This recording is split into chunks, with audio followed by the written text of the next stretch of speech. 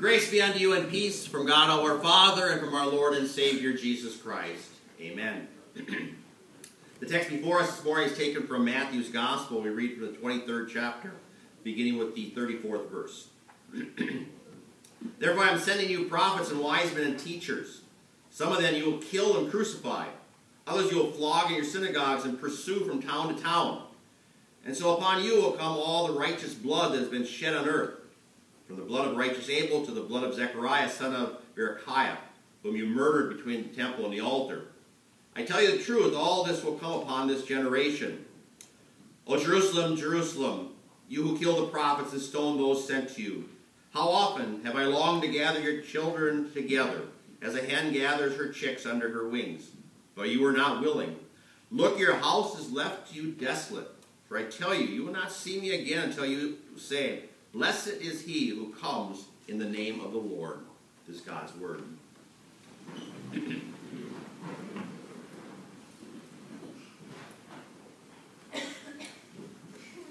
Your friends in Christ, there's no greater evidence of hatred toward God, toward our Lord Jesus Christ, than that which is shown to his followers, to his witnesses. Time and time again, God has sent his faithful messengers with the gospel out into the world. In the Old Testament, his prophets who spoke for God, warning the people of the coming destruction, to repent of their sins and turn to God. And time after time, the prophets would be poorly received, some killed, some beaten, many and most rejected. And God warns his people, and, and, the Lord here is warning his people and the people whom he is speaking to. The day is coming. That anger and that hatred and that wrath that is spewed forth upon those who serve the Lord. No shortage of examples around the world today where Christians are being persecuted in large numbers, much unknown to the common person because the media doesn't tell those stories for some reason. Even here in our country, our liberties are soon being removed. A bill has been introduced to remove nonprofit status from congregations and churches that proclaim the gospel. A somewhat limited bill, not all religions there. And so we see it happening all around, and it's not something that we ought to be shocked by. And I certainly don't say that trying to evoke sympathy it is the world that we live in. It is the nature of unbelief. That which it does not understand, it wishes to tear down and destroy, and sometimes with great shows of violence so as to scare people from that gospel ministry. And so when we think about those things in general, we think of the Lord. This is all against Him. And against those that follow Him, of course, but, but against Him. And so what does He do? On a cross, he said, Father, forgive them, for they know not what they are doing. So he wishes their forgiveness. But here in our text, how many times, how many times have I come to you? How many times have I sent my prophets? How many times have I spoken? And I'll do it longer, and I'll do it more. But the time has come, the time of reckoning is near you see in the Lord a compassion and a sympathy and an empathy for his people and for all people. Because this is, you know, he's speaking to those emboldened sinners that are treating the prophets so shamefully. And he's almost like he's, he's pleading in this lament here. Oh, how I wished I could have gathered you together like a, a hen does her chicks. We look at that and we say, well, Lord, couldn't you have used a, a lion maybe, or some grand steed, or some, some you know, animal that was just ferocious and powerful? A, a chicken? Those little barnyard varmints?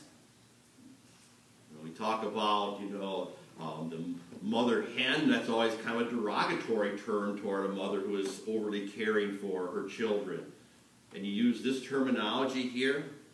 This did, didn't he?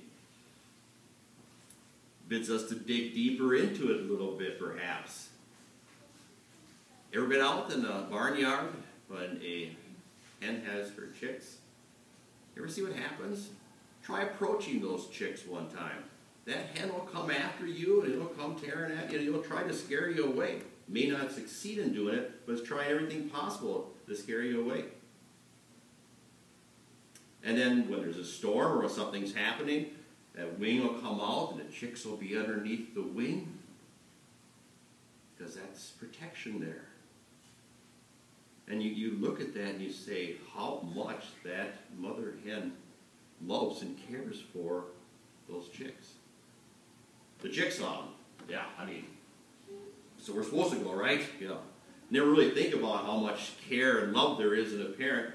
We, we do that as children. We never think about how much our parents love us and cherish us. Oh, they may say it, but isn't that what every parent says? You know, the type of thing. They don't appreciate that, how much they love their children. And so the Lord has given us a very tender picture here of, of loving concern. He said, I, I, I want to draw you into me so that I can protect you and I can watch over you and I can guard you and keep you from that evil one threaten to destroy your faith. I long to do that. And then when we understand the picture that way, it, gives us whole new meaning. That just that just that loving care of the Lord. And also the idea of being safe there. You know, many of the examples of when children are young, um, they have a dream about a monster in their room and they come running and jumping into your parents' bed. They're terrified. But because you're there, everything's good now again. Or the storm. You know, storming outside. Oh, we're scared of the, the, the noise and everything and they come running in and so on. The Lord says, come to me for protection. And we have a lot of fears in our life. Oh, we're big, tough people. We don't have any fears. Ah, half of us are afraid of the dark. Some of us are terrified of the spider walking across the room. You know, there's a snake in the garden. I'm not going in there. You know, that type of thing. I mean, there, we, we all have fears, but mostly we have fear of death. With the fear what's going to happen if I die? Am, am I going to be in heaven or am I going to be in hell? And the Lord says, Come to me. You won't have to fear you won't have to worry about those things because I have taken care of it. I will protect you. I am your Lord, your Savior.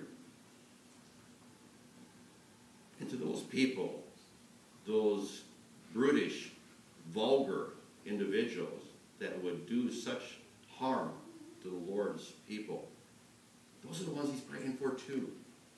How many times I wish you could. Then those faithful words you were not willing. Now, to the people who are not willing, probably doesn't mean a big thing. But it ought to. How many of us know that person that just will not go and see the doctor? You're sick, you need to go see a doctor. I'm not going to see any doctor. They don't do any good. you keep on telling them, you keep on telling them. Why won't you listen? Why won't you go? Stubborn, we say. Bullheaded. Yeah, granted, right. But why? The next person, you have a little pain in the pinky, and it's off to the doctor we go to find out what's wrong. There's something amiss here. And they say, well, you need to see a doctor. Well, off they go and can't get there fast enough. And critical, but that's, you know, for some, it's just why? Why does one, I mean, you got to drag him kicking and screaming. next person, you were not willing, the Lord said. I invited, I sent my prophets, I sent my pastors, I sent my teachers. I gave you my word. It's there abundantly. Why were you not willing? Well, first of all, there is the idea that I don't need it. I need someone that was hanging on a cross between two thieves. I need that in my life. That's what's going to make my life all, all the better. Yes, it will. Come and hear more about it. Come and hear why he was between the two thieves on the cross, dying. Come and hear more about the fact that he died on the cross, but a couple of days later, the tomb was empty. He rose. Why did he do that? Come and hear. Come and learn more. Come and understand more. I don't need that stuff. Some do. Come with open hearts, willing and receiving that message, and it's the greatest news that they ever could find. Some have a hard time getting rid of and letting go of their earthly treasures. Those are of more value than, than to serve the Lord.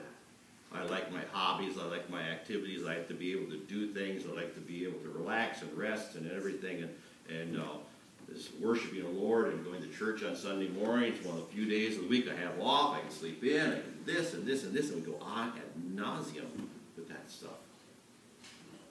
The bottom line is, I don't view my Lord important. I'm not willing to go listen to him. I don't want to hear him. That's sad. But what can you do? When I picture Jesus and using that example of the of the, of the, of the hen, you know, how many of us as parents don't agonize at times over our children or our grandchildren or our brother or sister or, or a member of the family? Why do they resist so much? Why are they so unwilling? I wish I knew the answer. You wish you knew the answer. You try to seek that answer. It all comes down to what's in the heart. When we give ourselves to the Lord, when we give our heart to the Lord, He opens up a whole new understanding. That's why it says when you come to faith, you are a new person. Yeah, I still look the same. I still have the same job and a wife and children and, and, and that. But something new has happened. That word is working in your heart and is producing faith and, and you are realizing, how could I have ever been away from this? How could I have ever stopped loving? How could I have gotten so caught up in the times, in the world? That happens all the time. Jesus is not to blame for anyone's eternal damnation. From the text, you see over and over again, he has given ample opportunity. He longs for the individual to come to him, to receive from him the blessings of salvation. Being lost is because you're not willing. And that's a sad, sad thing.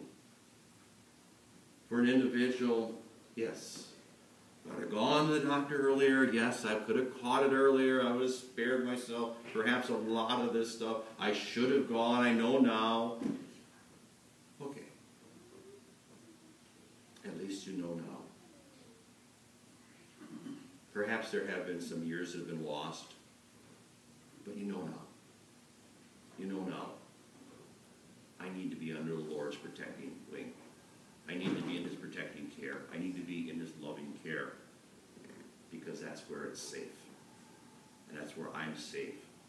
And that's where I have no more fears about things that so easily cause me to be afraid. There's where the Lord wants.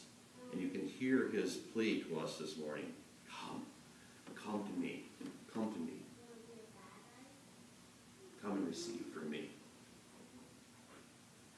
And by God's grace and by the Holy Spirit's prompting, we can say, Lord, I come, I come. Amen.